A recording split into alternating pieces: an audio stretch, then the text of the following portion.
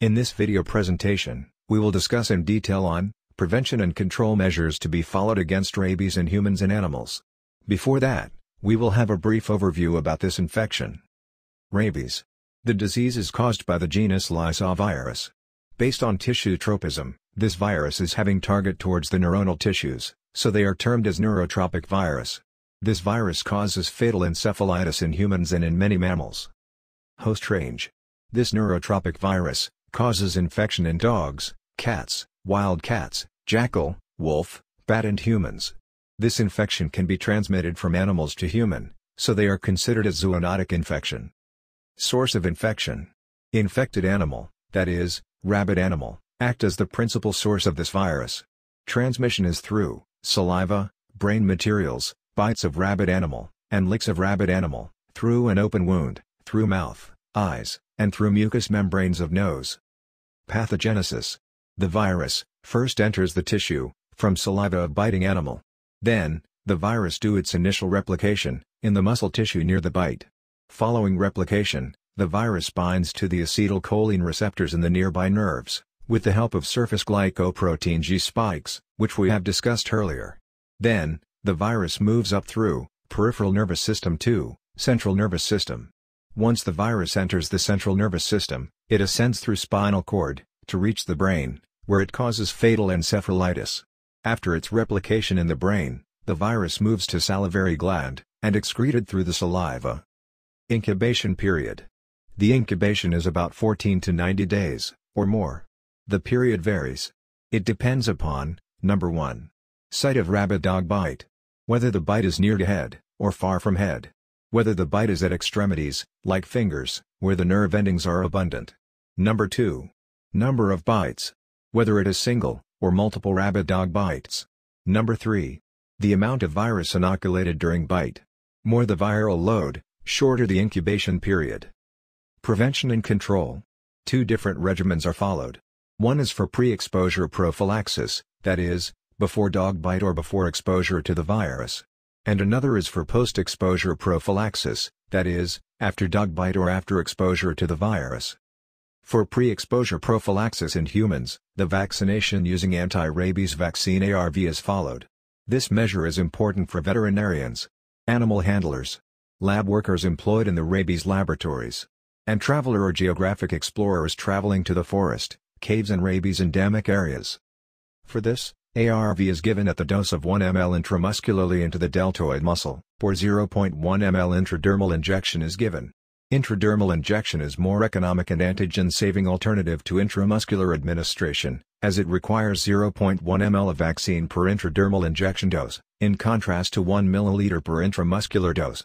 ARV administration schedule is followed on 0 day, 7th day, 21st day or 28th day. Revaccination is followed every 3 to 5 years that depends upon the neutralizing antibody level. Antibody levels can be evaluated by rapid fluorescent focus inhibition test RFFIT, which was discussed in previous video, under laboratory diagnosis. For pre-exposure prophylaxis in animals like dog and cat, anti-rabies vaccination is done, as per WSAVA guideline. That is a global guideline, given by World Small Animal Veterinary Association. As per its vaccination schedule, the primary vaccination in dogs and cats against rabies is done at third month of age, that is 12th week, with a dose of 1 ml per animal, intramuscular. Followed by 2 to 4 weeks apart, next vaccination is done at the age of 4th month, that is 15th week. In order to maintain the protective immunity against rabies, revaccination is done, every year, that is annually. In India, where rabies is endemic, four types of rabies vaccines are available. The first three are the cell culture derived, Number 1, Human Diploid Cell Culture Vaccine. Number 2, Purified Chick Embryo Cell Vaccine. Third, Purified Vero Cell Rabies Vaccine. And the fourth is the Purified Duck Embryo Vaccine. In this vaccines, first the virus is cultivated in the human diploid cells, or in chicken embryo fibroblast cells, or in cells, or in embryonated duck egg. Followed by virus cultivation, inactivation of virus is done by using beta-propiolactone. These are the rabies vaccine strains. PV11 strain. Pitman-Moore strain. Flury strain. Wistar strain. And CVS strain. Molecular studies have shown that, These strains are genetically homologous. Oral vaccination against rabies. This is done to prevent and eradicate rabies in wild animals, such as foxes, raccoons, coyotes, and jackals. Here, the vaccine is mixed with the edible food, and used as bait vaccine. This bait vaccines are distributed by airplanes in wild and rural areas. The left picture, showing the paraffin-coated edible food bait vaccine. The right one, showing the dog, consuming the bait vaccine. For post-exposure prophylaxis, that is after suspected rabid dog bite, following PEP measure are followed. Number 1. Wound management. Number 2. Vaccination. And number 3. Rabies immunoglobulin, that is RIG infiltration.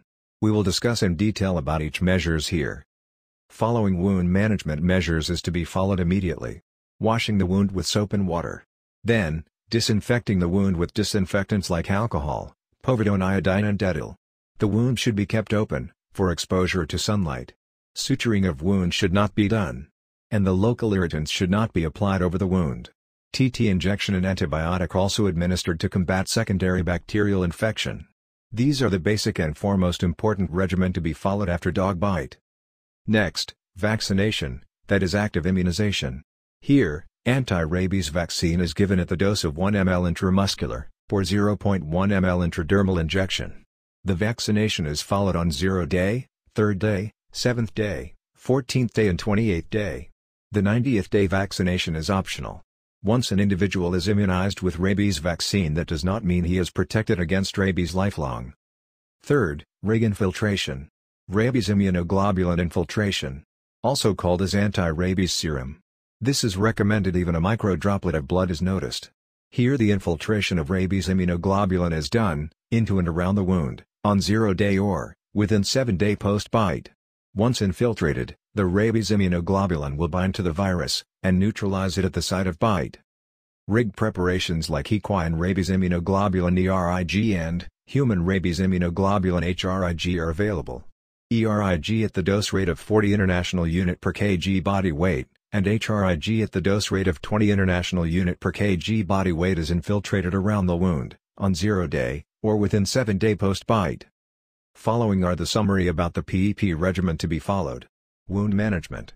Immediate, and thorough wound washing, with soap and water and disinfections. TT and antibiotic administration. Anti-rabies vaccination on 0, 3, 7, 14 and 28th day with 90th day optional. And rig infiltration around the wound. The contact with suspect rabid animal is classified into three category. Category 1. Licks on intact skin. Category 2. Nibbling of uncovered skin, minor scratches or abrasions without bleeding. And Category 3. Nibbling of uncovered skin, minor scratches or abrasions without bleeding. Single or multiple transdermal bites or scratches, licks on broken skin, contamination of mucous membrane with saliva from licks, contacts with bats. Here are the categories of contact and their recommended post-exposure prophylaxis measures to be followed as given. For Category 1 contact, washing is mandatory. For Category 2, Washing plus vaccination is must. And for Category 3 contact, washing, vaccination and rig infiltration is followed.